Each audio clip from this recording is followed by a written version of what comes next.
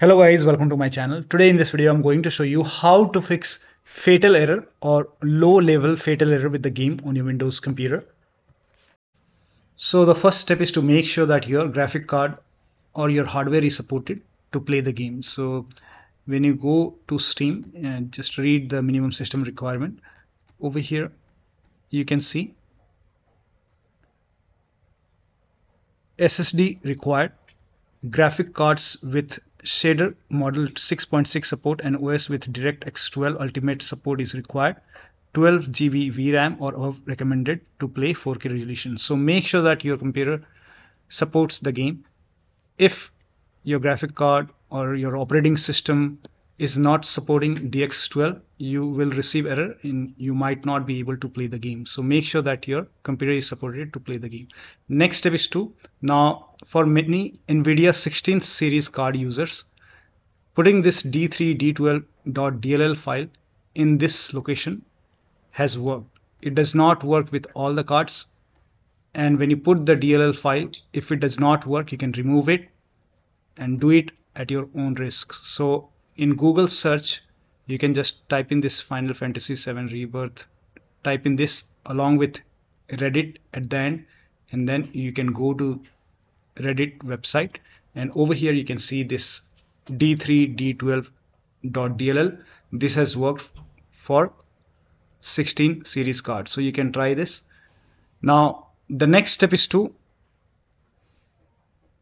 try D3, D11 in launch options. So you can go to Steam, make a right click on the game, select properties. In the launch option, you can type in dash D3, D11, and then you can launch the game. This has worked for a uh, few players, so it might work for you. But when you launch the game, if you're receiving fatal error, in that case, you can remove this. So if you're receiving fatal error like this, in that case, you can remove everything from the launch option. So remove this and then follow the next step. Now the next step is to perform clean installation of your graphic card driver. So if you have NVIDIA card, go to NVIDIA website. If you have AMD card, go to AMD website. I'm showing for NVIDIA. If you have NVIDIA app or GeForce Experience, you can use these application to update your graphic card driver. So if you have NVIDIA app, you can open NVIDIA app and then you can go to drivers and then you can update your driver from here and I'm showing for NVIDIA how to do a clean installation. So to perform a clean installation, go to NVIDIA website and then select your graphic card from the list. Make sure that you select your graphic card and then select the right operating system. So if you have Windows 11, select Windows 11. If you have Windows 10, select Windows 10 and then click on find. And once you click on find, you will see this page. Now here you will find the latest GeForce Game Ready driver. Now click on view and then once you click on view you will see the download option. Click on download and let the download complete. Now once the download is complete run the exe file. Now once you run the exe file you will see this screen. Click on agree and continue and then select custom option over here. By default express would be selected. Select custom and then click on next. And then you will see this screen. Now put a check on the box which says perform a clean installation. Make sure you put a check on perform a clean installation and then click on next and let the installation complete. Once the installation is complete restart your computer and after the system restart launch the game. Now the next step is to run the game on dedicated graphic card. Now for this you can type in graphics settings in windows search box and then click on graphics settings and then over here click on add desktop app and then go to the game installation folder. So open the game folder select this exe file and then click on add. Once the game is added scroll down and find the game. You can click on this down arrow and then select high performance.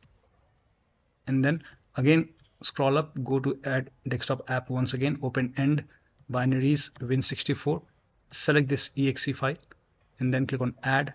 Again scroll down and find the game in the list and then select high performance over here. And then you can check. Now desktop users make sure that you connect the display cable or HDMI cable to the dedicated graphic card slot not to the motherboard slot which has the inbuilt graphic like Intel.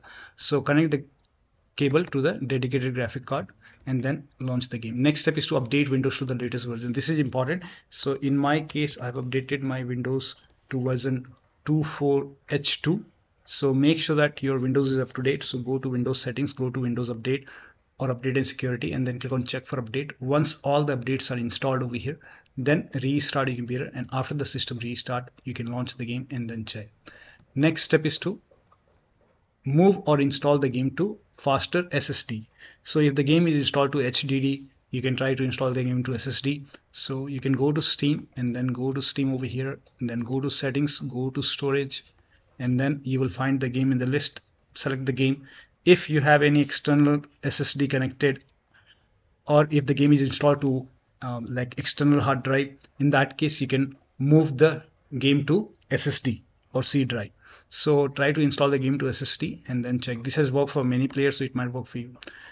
If that does not work you can simply reinstall the you can you can uninstall the game and then when you install the game install the game to SSD and then check next step is to make sure that you have enough space on your SSD so make sure that your drive has enough space now the next step is to run Steam as an administrator. Now for this you can close Steam, go to Steam and then click on exit over here. And once Steam is closed, now type in Steam in Windows search box and then make a right click on Steam and then click on run as administrator. Make sure that you click on run as administrator and then launch the game. Next step is to now close MSI Afterburner. So if you have MSI Afterburner, RivaTuner or any kind of overclocking application running, close it and then launch the game. Next step is to rename or delete the save game files. Now, when you rename or delete the save game files, you will lose all the game progress. You have to start everything from scratch. Now, if you agree, you can go to File Explorer, go to Documents folder, and then open the uh, My Games, and over here you will see the game folder. So you can make a right click and then you can rename it. If you want to create a backup, you can create a backup. Just copy this file and paste it to the desktop once you have the backup you can just rename it dot old old and then you can launch the game you can even delete this folder and then launch but uh, you will lose all the game progress and then check next step is to now AMD users install optional driver that is 25.1.1 this has worked for many players so it might work for you so you can go to Google. In Google, you can type in AMD optional driver 25.1.1 and then go to AMD website. Over here, you can see new game support, Final Fantasy 7 Rebirth. And then scroll down over here, you can see AMD software 25.1.1 and this is the optional update. So you can install this you can click on it and then you can run this exe file install it. After the installation restart your computer and after the system re restart launch the game and then check. Next step is to AMD users try reverting driver to 24.7.1 or 24.8.1. This has also worked for many uh, players, so it might work for you. So you can go to AMD website and then select your graphic card. Um, this is just an example. Uh, you can select your graphic card over here.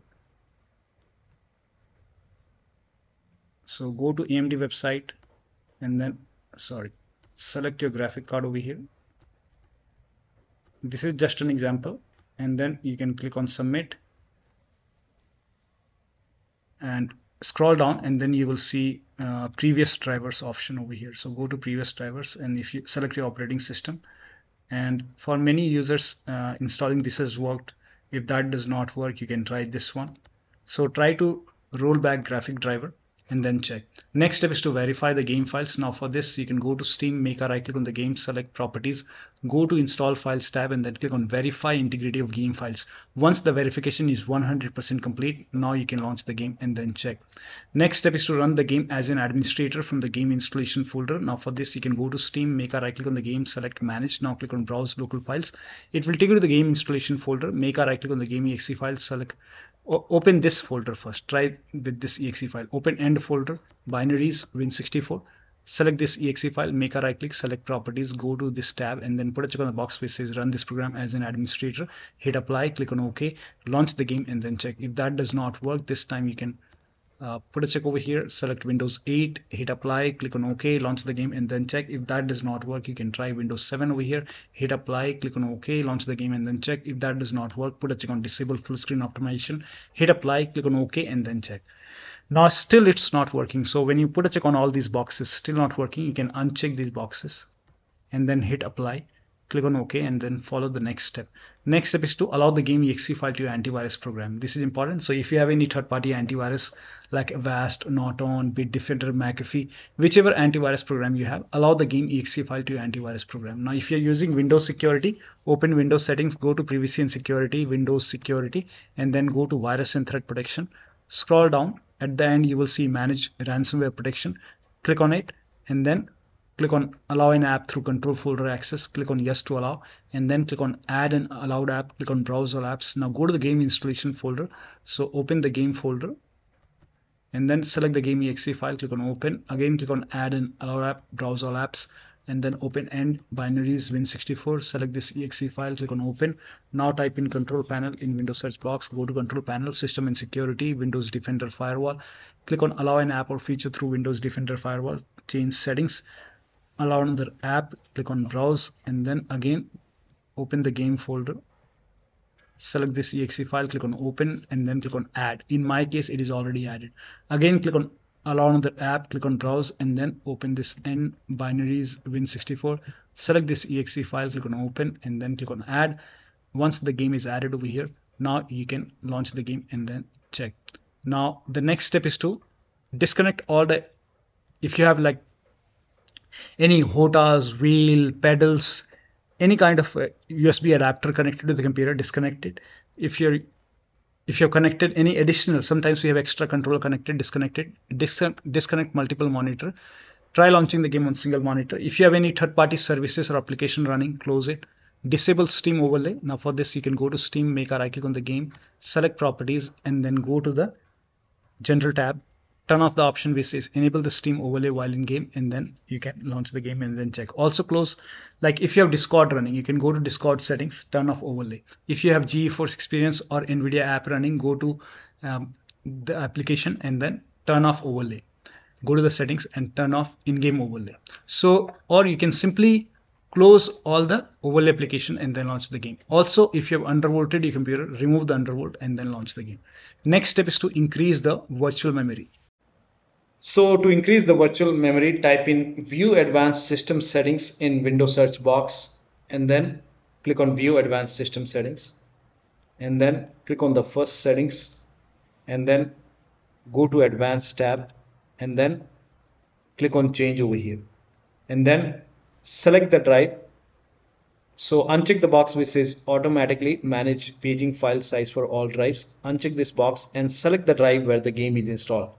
So select the drive and then once you select the right drive, now put a check on custom size and for initial size it's 1.5 into total RAM. So you can check the total RAM in Windows settings. You can go to system and then go to about and total RAM in my case is 16 gigabyte. So you can calculate accordingly. In my case it's 16 GB. So I will calculate as per 16 GB. So and first of all we have to convert 16 GB into megabyte. So we will open calculator. So type in calculator in run box and then click on OK. And over here uh, it's 16 1.5 into total RAM. Total RAM in my case it's 16 RAM 16 GB so 1 16 into 1024 1024 is actually 1 GB is equal to 1024 megabyte. So 16 GB in megabyte will be 16384 into 1.5 1.5 into total RAM. This is my total RAM in megabyte. Now 1.5 into total RAM total RAM that is into 1.5 so in my case initial size is 24576 24576 and maximum size is 3 into total RAM. Now total RAM in my case that is 16 gigabyte. I have 16 gigabyte of RAM. So 16 into 1024 I have converted this in megabyte megabyte now that is 3 into total RAM so total RAM is this much into 3 that is 49152 49152 4915152 now click on set over here. Then click on ok. Ok. Apply. Okay okay now restart computer. Make sure that you restart your computer after this. Now the next step is to update the system BIOS. So go to your system manufacturer website. So if you have a Dell computer, go to Dell. If you have Lenovo, go to Lenovo. So go to your system manufacturer website, select your model number, make sure that you select your computer and then find the latest BIOS update and then update it. Now, before you update the system BIOS in case of laptop, make sure battery is more than 10% and the AC adapter the charger is connected to the computer. And during the BIOS update your system will restart. Do not unplug the power cable when it's updating the system BIOS. After the BIOS update log into the computer and then launch the game. Now the last step is to uninstall and reinstall the game to different drives. So if nothing is working you can make a right click on the game select manage now click on uninstall. Now after the uninstall go to the game installation folder delete the game folder restart your computer and then install the game to C drive. So if the game is installed to D drive or E drive any kind of external drive try to install the game to C drive. If the game is already installed to C drive then try to install the game to another SSD and then check. So one of the steps shown in this video should help you to run the game successfully on your Windows computer. So that'll be all. Thank you so much for your time and please like this video and subscribe to my channel